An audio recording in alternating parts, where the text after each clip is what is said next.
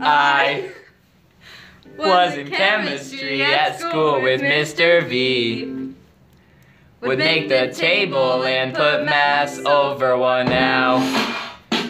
You put one over Avogadro's number.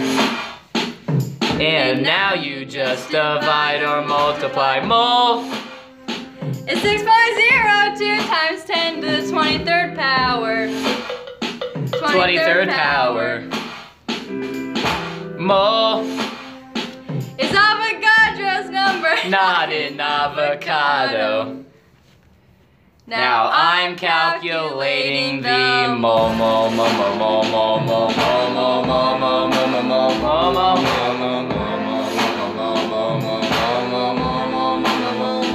mo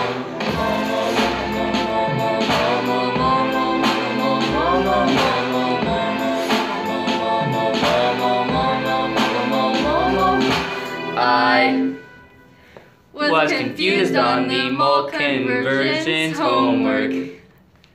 An example of the perfect equation is mass over moles times the formula mass.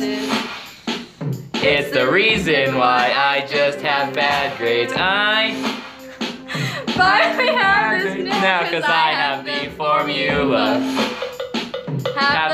Formula.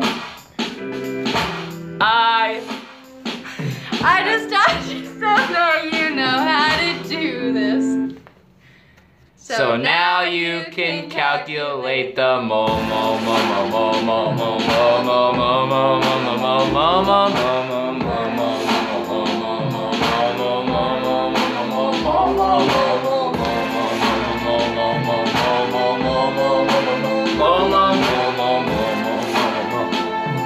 mo mo mo mo